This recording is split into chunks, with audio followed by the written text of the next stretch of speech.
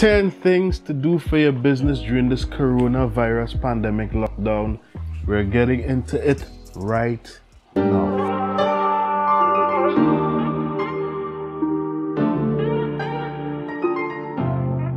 Hey, my name is Ainsley Stewart and welcome to my channel. If this is your first time on, then on this channel, I share with you tips, tools, and strategies to build and grow a profitable business online. I share with you some of the things I would have picked up along the way during my journey so that you can avoid some of the landmines, some of the business doo-doo as it were, and you can spare your shoes, spare your legs, and cut your learning curve in half. So if that sounds like stuff you'd be interested in, then definitely hit the subscribe button, click the notification bell so that I can send a notice every time I upload a new video, which is pretty regular on this channel. So all that said, all the preliminaries out of the way, let's get into the tips. If you're watching this video way after the coronavirus pandemic, lucky you because at the recording of this video this time, this is a crazy, crazy time uh, both for people and businesses. Uh, people are asked to stay indoors. Um, businesses are shut down.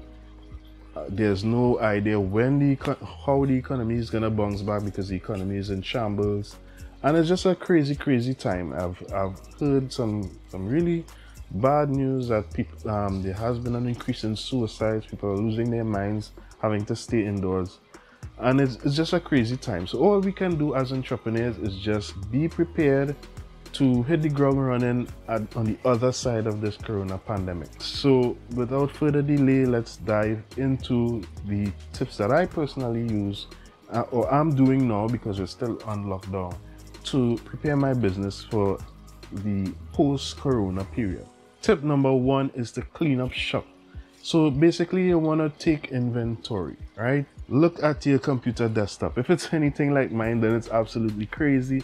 You can't find things. So do a little cleanup. Even if you have to hire a child or or a VA or somebody to kind of put things in a in a proper order so that it's easy to find. What about uh, projects that you would have started before the coronavirus period? Are you going to continue? Are you going to shelve those projects? So you're just taking inventory and you're tying up loose ends so that in preparation for that post coronavirus period that you're going to be able to hit the ground running and you wouldn't really miss a beat. Tip number two, so after you clean up shop, what you want to do is set up a continuity plan. You're going to chart your way forward. You're going to look at your business goals, revise your business goals, your vision, your mission statement, etc.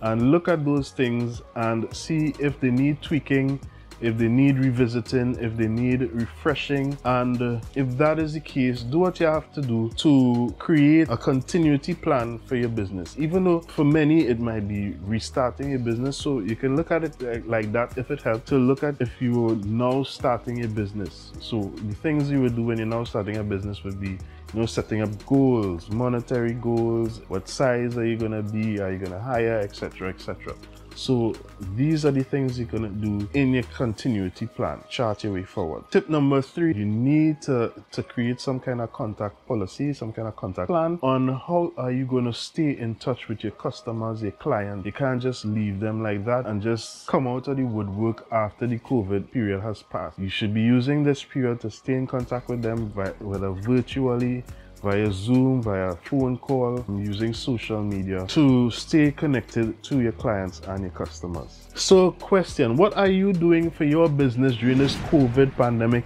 crazy period? Leave it down in the comments down below. I would definitely love to hear from you. Let's continue. Tip number four is self-care. Now you might be asking, Ainsley, how how is self-care gonna help me with my business? So let me ask you this without you, how is your business going to survive? So you need to take care of yourself. So eating good food, staying healthy, exercising as far as possible if you if restrictions are starting to slack and you can exercise outdoors, try and get some outdoor exercise. Practice gratitude and positivity and all of these things are going to keep you in check. As I mentioned in the intro, there has been an increase of suicides, etc. And some people just can't handle being cooped up for too long. But you, entrepreneur, are going to take care of yourself. Now, part of taking care of yourself is also reading. Now, if you're looking for some recommendations on some good business books to read, check out this video. You might actually find some good ones in there. So, tip number five is trim the fat. And no, I'm not talking about weight loss here. I'm talking about those extra expenses that are unnecessary. So, it might be personal expenses, maybe Netflix, maybe something that is unnecessary so you can get rid of that or just take inventory and look at things that you're paying monthly for that you may not need, especially as a business. For example, I would have gone through my subscriptions of tools that I pay monthly for to run a business online and a lot of them I decided to get rid of at least for now you know and just strip down to the bare minimum necessities because that is going to help you to retain cash have liquid cash on hand to be able to navigate during this uncertain period. Tip number six I throw in for those who don't yet have an online presence, and that is to develop an online plan. Ask yourself, is there any part of my business that I can offer online? Because post COVID, the online offer, offerings are going to increase because of the new norms where we can't be because of the social distancing etc that is going to be the new norm having an online presence is going to be key for a business surviving post-COVID. For example, if you're into retail sales, think about uh, creating an online store and maybe offering some of these some of these things to, to give people the, the ability to purchase online. It, there's gonna come a time where that is gonna be a bare minimum to have an online presence. A lot of people were avoiding it before, but post COVID, that's gonna be a bare minimum. So think about and maybe find someone who has those skill sets, who has an existing business online, and maybe chat with them and see what ideas you can come up with to be able to pivot and create offers online for your business so that you can still survive even post COVID. All right, tip number seven is to create a content strategy. So once you come online, understand this information is key. And the new purchase part of consumers these days is to follow people that they know, like, and trust, and they eventually buy from. So you have to provide that information that leads people, that content, that value that leads people towards what you have to offer that can make their life easier, that can solve a problem or issue that they have. So you want to create that content strategy. How are you going to offer the content? Through which platform? Is it through social media? Is it through video marketing, email marketing? There are so many. So do your research and see if you could come up with a content strategy that can take you forward through post COVID. Now, if you already have an existing content strategy and you have content out there, the next tip, tip number eight, is to update content that you already have. So, this is part of the cleaning up process as well you want to update some of the outdated content that you may have had already existing. Whether to update your videos, update your blogs, whatever is the case, you can, tip number eight, you can update the content that you already have existing. Tip number nine is to be transparent. Be transparent with your audience, customers, clients about your current situation. Now, you don't have to go into extensive detail as to your situation, but be transparent. Let them know what to expect because this period provides a lot of uncertainty, and if you can be transparent with them, then coming out post COVID, they are going to realize that you have always been open with them.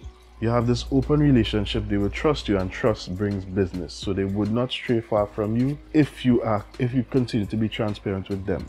Also, you may want to be transparent with your team if you have that business model where you have a team involved be transparent with your team. You may even have to have that difficult conversation of having to let people go.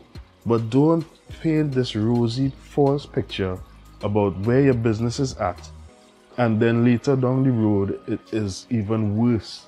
So be transparent with your clients, customers, be transparent with your team, and be transparent with yourself as well. So that is tip number nine. And tip number 10 is to show up. Don't get buried, don't become obscure. Show up, show up through your content, show up for your customers, your clients. Give them a call, find out how they're doing, you know, in this uncertain time, how they're making out financially, etc. Show up. Be there for your customers and clients because during COVID, post COVID, there are still going to be problems that you might have the services or the products to be able to resolve. There are still going to be problems existing even after COVID is gone and maybe they find a vaccine or a resolution to this thing. There are still going to be problems that exist that you might have the, the, the ability to resolve. So show up and be there for your clients, be there for your customers. And a bonus tip, tip, this bonus tip is to sharpen your axe. So along with the self-care, you want to sharpen your axe. You want to maybe pivot and learn new skills during this time that can help you take your business forward. You may not have had business online before, so you may want to take a course, reach out, reach out to, to reach out to influencers or mentors or take on coaching or whatever is the case to be able to sharpen your axe so that in preparation for post-COVID, you can actually hit the ground running so that you can have a profitable business. So that's it for now. See you in the next video. Like, subscribe, leave a comment, and you will definitely want to watch this video next